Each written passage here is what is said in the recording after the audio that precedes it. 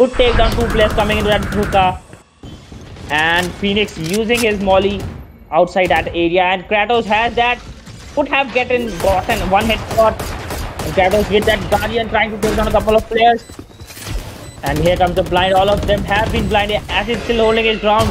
In that U-Hall Kratos with that first kill. Acid, not a good shot from that judge into that long range. And Root taking out hit from the right side. Here comes the blind. Root with the second shot takes on Oh and with the third kill takes on Hash as well. And Cypher is the sole player remaining. And Cypher taking out his Pro. And Cypher with the second, seventh, and third kill, fourth kill. Cypher. Oh my god. Cypher with that four continuous headshot, tap, tap, shot. And Cypher could have gotten this round for his teammate, but Acid just uh, stopping him right now. And this is the power of Immortal Player even in a situation of 1v5, we can expect